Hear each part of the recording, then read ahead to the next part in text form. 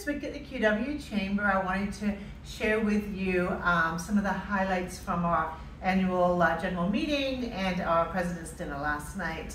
Uh, we had an amazing uh, crowd of business representatives in the room, and we were able to talk about some of the great things that uh, the Chamber accomplished in 2023.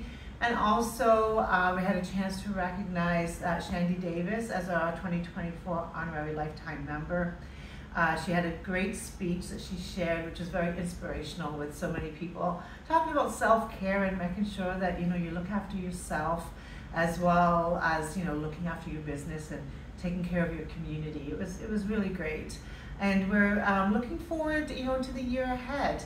Uh, we've got in a great position. Uh, the annual report last night uh, showed that we've uh, got great financials. Uh, if you want to have a look at them, uh, there is a link below because our books are totally transparent to you as our members.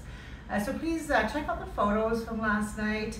have a look at the financials if you wish. And if you have any questions, contact the Chamber.